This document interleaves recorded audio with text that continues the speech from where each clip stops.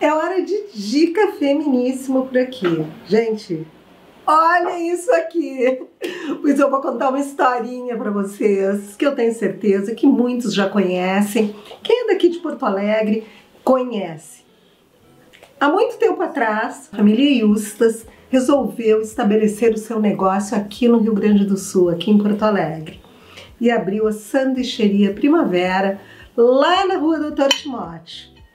A Sanduicheria Primavera ganhou o coração de todo mundo pelo capricho, pelas receitas novas e principalmente, ó, pelo seu sanduíche primavera. E desde então a primavera passou a fazer parte da minha vida.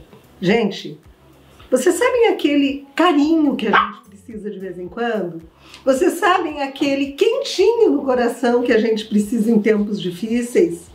Bom, eu sou suspeita para falar, mas eu acho que tu comeu uma coisa gostosa e isso ajuda muito. E a primavera vem fazendo isso há anos. Vem trazendo um quentinho pro nosso coração.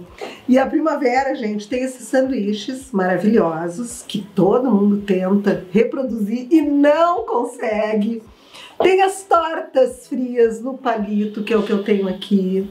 Os sanduíches têm de vários sabores as tortas maravilhosas. Essa aqui é uma mini Marta Rocha, tá? Que também é imbatível. A Sanduicheria Primavera já está com as portas abertas, está com as portas abertas, esperando vocês para o chá da tarde, para aquele lanche especial e também para os almoços que são maravilhosos. Bom, isso aqui é só uma amostrinha do que a Sanduicheria Primavera tem mas os almoços da sanduicheria Primavera, que tem a mão da Dona Teresa, vocês não têm noção.